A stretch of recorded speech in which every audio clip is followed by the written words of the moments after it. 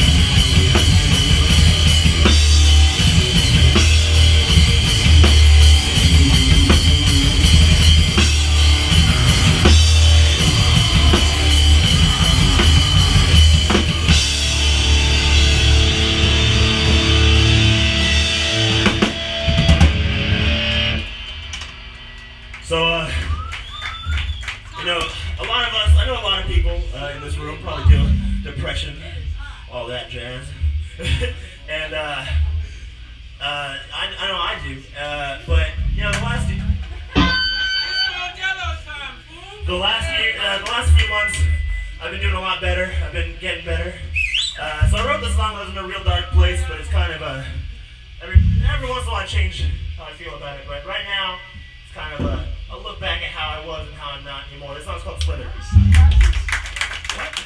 Thank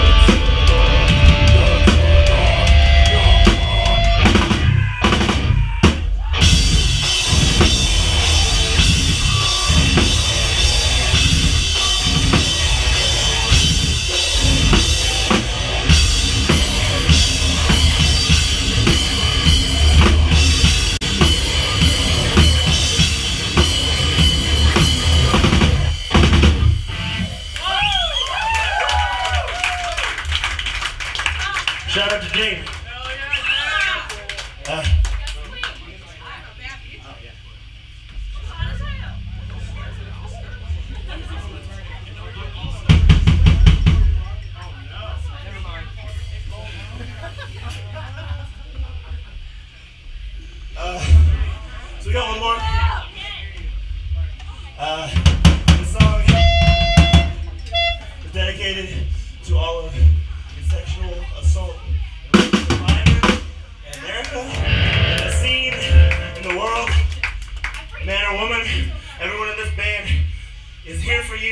Love you.